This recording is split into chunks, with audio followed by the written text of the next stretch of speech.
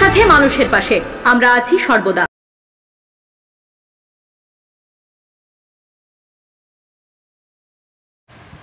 আগামীকালকে আমাদের ঈদুল আজহারের নামাজ অনুষ্ঠিত হবে।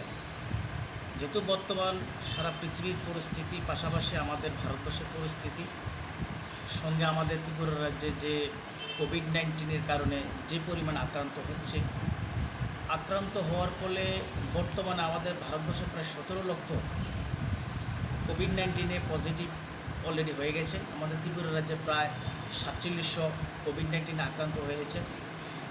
এ পর্যন্ত সরকার অনেক চেষ্টা করছেন ভ্যাকসিন তৈরি করার জন্য। সারা পৃথিবীর বিজ্ঞানীরা চেষ্টা করছেন। কিন্তু তথাপিও আসলে এখন পর্যন্ত কোনো তার সঠিক প্রতিকার আসে নাই।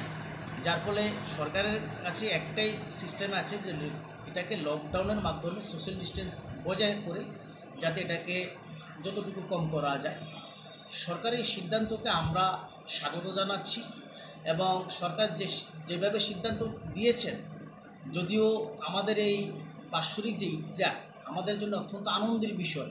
পাশাপাশি যেহেতু একটা বিশ্বে, সারা বিশ্বে একটা মহামারী লেগে আছে, সে মহামারীকে, মহামারী থেকে আমরা যাতে প্রতিকার পেতে পারি, প্রয়োজনে আমরা এই কোরবানি যে, যার আক্ষরিক অর্থ হচ্ছে ত্যাগ, প্রয়োজনে আমরা সেই ত্যাগ করতেও রাজি আছি।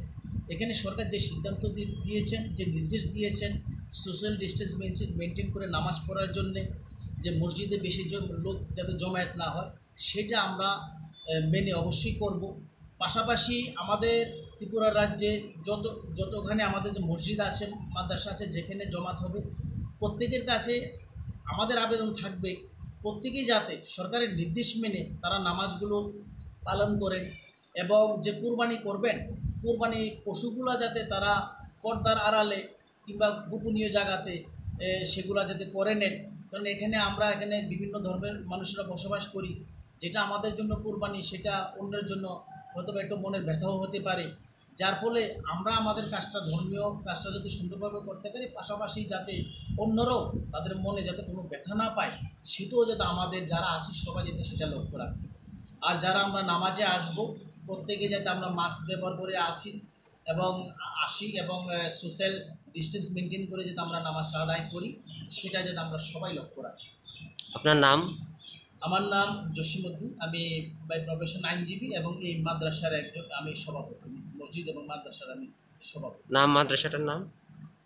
সোনামুড়া টাউন জামে মসজিদ এবং টাউন মাদ্রাসা। ঠিক আছে ধন্যবাদ। পালন করব। সরকার যেভাবে আমাদেরকে লকডাউন এবং সামাজিক দূরত্ব বজায় রেখে চলার নির্দেশ দিয়েছে, আমরা সেইগুলো পালন করব। মাস্ক ব্যবহার করব এবং মসজিদে ঈদগায় আমরা সামাজিক দূরত্ব বজায় রেখে আমরা নামাজ পড়ব, যাতে আমাদের দূরত্ব বজায় রাখার পরে যাতে করোনা আমাদেরকে, আমরা সরকারি আইনকেই বিধিবিধি, বিধিবিধান মেনে আমরা চলতে পারি এবং করোনাকে প্রতিরোধ করার জন্য আমরা সকলে সচেতন থাকব।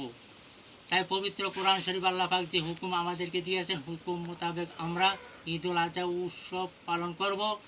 আর সরকার আমাদেরকে যে বিধিবিধান দিয়েছেন, আমরা মেনে আমরা ঈদ উৎসব পালন করব।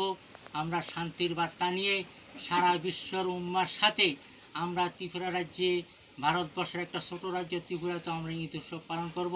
শান্তিতে সুপ্রজিতে আমরা সরকারের বিধিবিধান মেনে আমরা ঈদ উৎসব আমরা সুন্দরভাবে পালন করব। আল্লাহ পাক সকলকে আমল করার তৌফিক দান